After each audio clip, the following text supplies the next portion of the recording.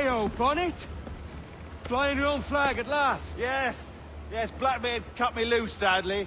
Time to have a go at this myself. Well, that's grand. Yes, it's for the best, I think. I should have some wild stories when next we meet. Edward! Your constant friendship has been my most treasured find on these seas. Well above gold and silver and rum, I, I prize the courage you have inspired in me this year. Thank you, sir. A fair good morrow to you.